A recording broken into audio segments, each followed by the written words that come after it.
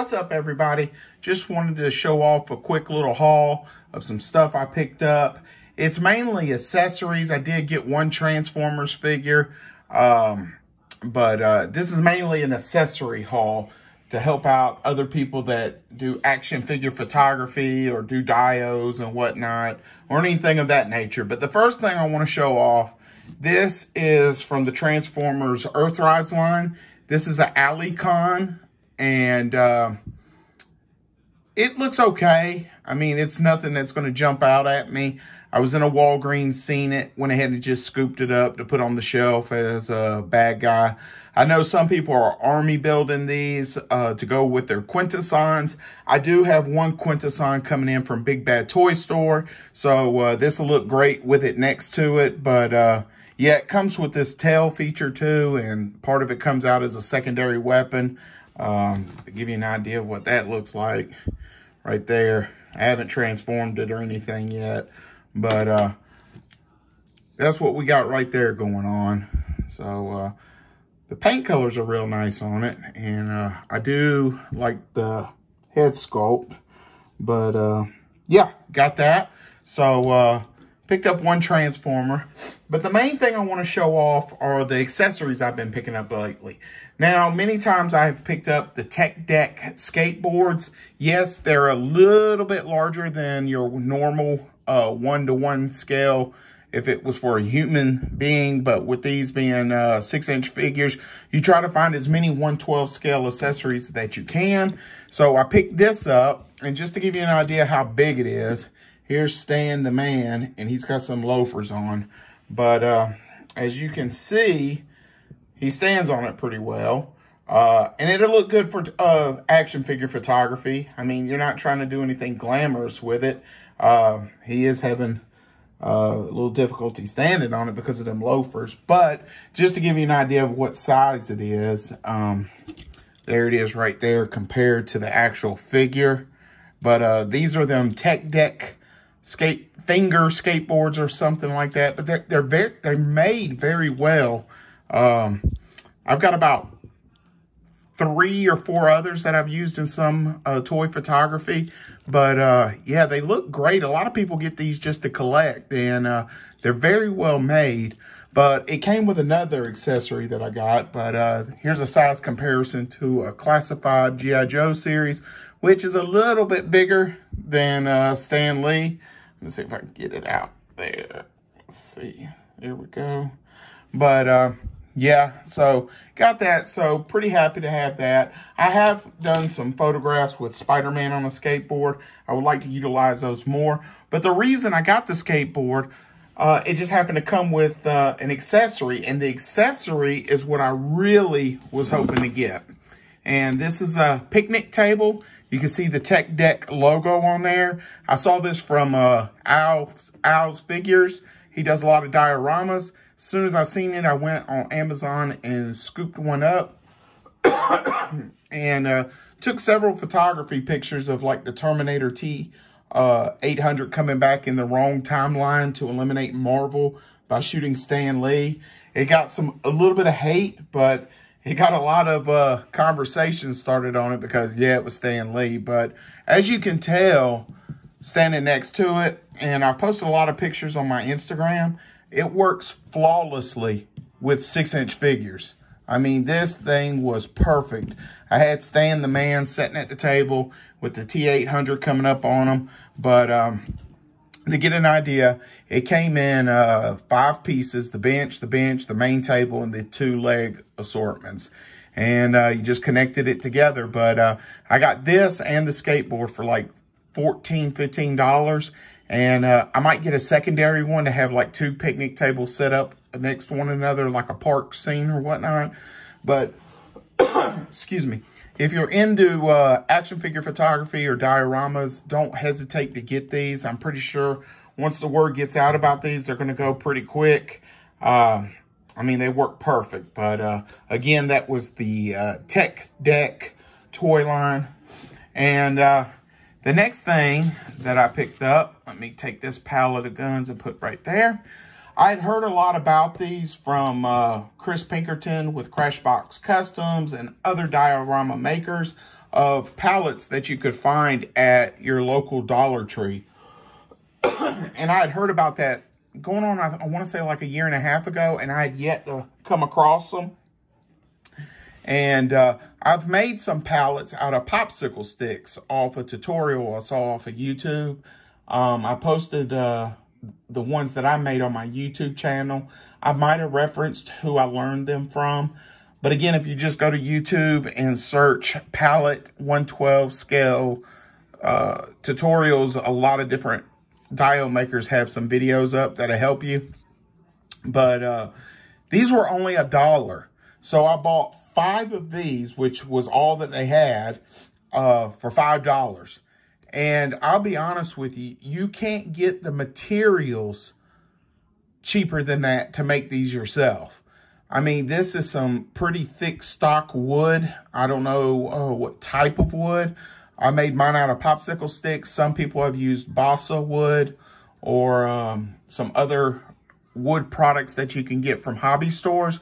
But this looks perfect compared to the ones I made. And it took a little time to make the ones that I made. I used the hot glue gun to uh, connect the pieces and it was real, you know, stringy, of course, how hot glue is.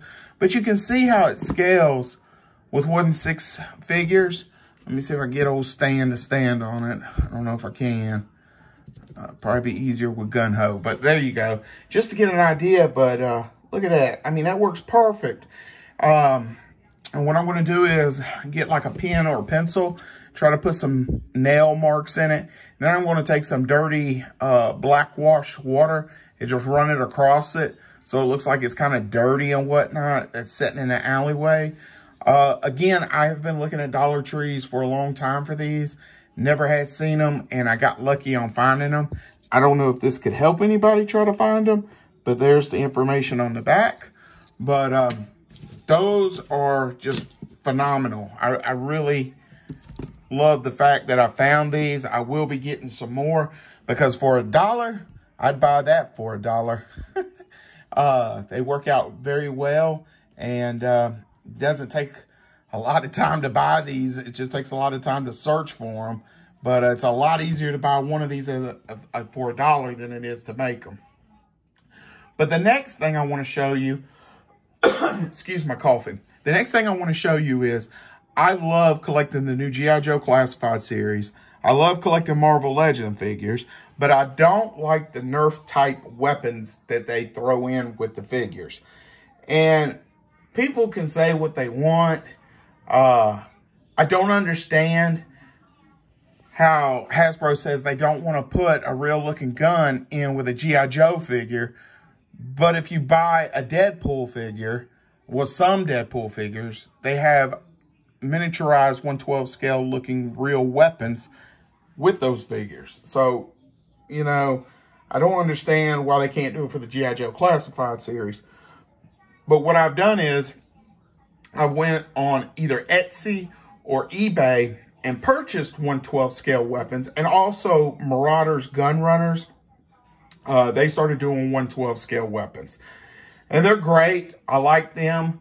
But when you start buying them that from people that are either 3D printing them, uh, using a cast, I guess you call it, to make them, it starts getting pricey for just an accessory.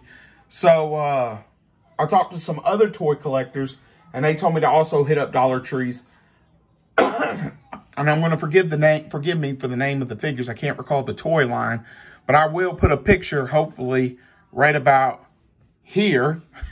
Uh, that'll help me find it on the, because I suck at editing. That'll help me find it on the video to post a picture of the figures that these guns come with.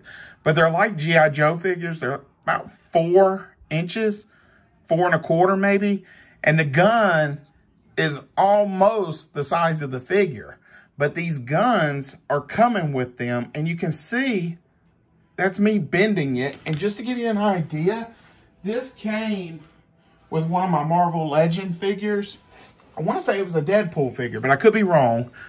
Uh, but this is the same gun that also came with a Punisher figure. I want to say for the Netflix series. Now, it looks great. It's got some pretty decent paint on it. Uh, but look at that. A lot of their accessories is that bendable rubber type plastic, which yeah, it looks great, but when you put it in a person's hands, it's kind of giving it a warp look. And you can see where I'm doing this. And that's a Hasbro product right there. Now this came from a Dollar Tree with a figure and with some accessories. Some of the accessories was even a boat. And another one had a motorcycle. I didn't pick up the one with the motorcycle because uh, it was missing the gun. And that was the whole reason I was buying these sets. But look at this. That's me trying to bend that weapon. And uh, the sculpt is not that bad for a dollar.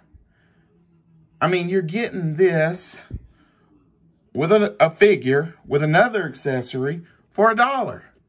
So rather than me going to eBay and buying two of these that either someone 3D printed or used in a cast, I got this for a dollar. And I donated the figure and uh, the other accessories to one of my nieces who likes action figures. But just to see what they look like, here's this one. I've got five to show you. Uh, here is this one. We got this one right here.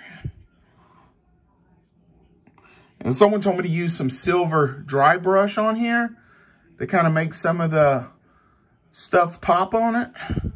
But just to give you an idea, this might be the, is this the same one? I think this is, yeah, this is, looks like the same one. But we'll show it off just to be safe.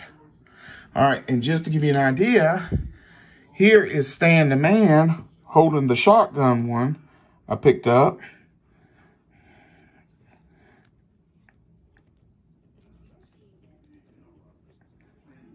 And uh, he doesn't have too good of a trigger finger, so I just set it right there. So that is Stan the Man holding one of these shotguns. And here is Gung-Ho holding, I don't know what this is. It looks like maybe a saw with a, a sniper scope on it. but uh, yeah, I mean, these are perfect for what I need them for. And as cheap as they are, I like one of my dios I want to try to build is an armory. And these are going to look per... Oh, you can't see it. Sorry. Let me try to raise the camera just to give you an idea. All right, if I was to build a diorama with these hanging up on the walls or whatnot, that is going to look perfect in the background of shots. Probably can't see it as good right there. So, uh, yeah, hit up your Dollar Tree. I will try to either insert the pictures where I did the thumbs up, or I'll just put them at the end of the video. Most likely to be at the end of the video because uh, I suck at editing. I just like to show off some stuff I find. But, uh, yeah if you're into action figure photography or, or, you know, just wanting to trade out your space guns for some real guns, this is it. This is great. This is bendable. but yeah, I love real looking weapons compared to Nerf weapons. And these are going to look great with my G.I. Joe Classified series. Uh, and my Shield agents. Uh, I'm real happy to get these. But, uh, okay. Hope you enjoyed. Hope you see some stuff maybe you like or some stuff that'll give you some ideas. But, uh, if you enjoyed this video, please look, I do have a little bit of an extensive backlog. I like to just basically show off hauls of action figures, accessories that I find, uh, dios, uh, vehicles that I've customized. I don't sell none of them. Uh, I just do it for my action figure photography. And uh, I just like making them and having fun and learning from other customizers and uh, trying new things. But uh, you can find me on YouTube under Rich's World, which is where you're watching this at right now. I'm also on Facebook under Jimmy Rich. And uh, I hope you enjoyed this video. Please like and subscribe. And uh, show me some of the stuff you've made or tell me about it. But if you have any questions, just hit them up in the comments. I'll try to answer them. Thanks for checking out my video, and I will see you next time.